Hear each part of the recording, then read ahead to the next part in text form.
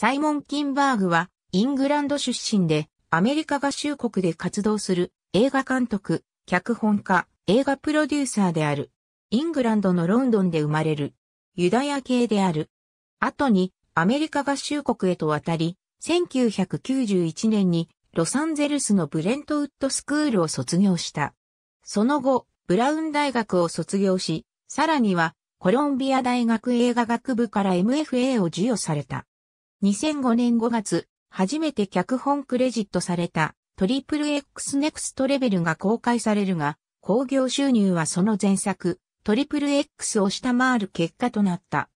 同年6月、ダグリーマン監督、ブラッド・ピット、アンジェリーナ・ジョリー主演のミスターミセス・スミスが公開され、全世界で4億ドル以上の興行収入となる成功を収めた。同映画は後にテレビシリーズ化が企画され、キンバーグもパイロット版の脚本を手掛けたのだが、ABC は放送を取りやめた。2006年、ザック、ペンと共同で脚本を書いた X、メンシリーズ第3作、X、メン、ファイナルディシジョンが公開された。2008年、ダグリーマン監督と再び組み、同名の小説を脚色したジャンパーが公開された。この映画では、プロデューサーも兼任している。2009年公開のガイ・リッチー監督によるシャーロック・ホームズでは、脚本家の一人としてクレジットされ、興行収入は全世界で5億ドルを超えた。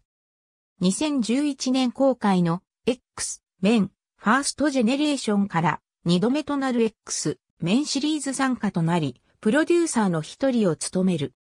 2012年には制作、原案、脚本を務めたマック・ジー監督のブラック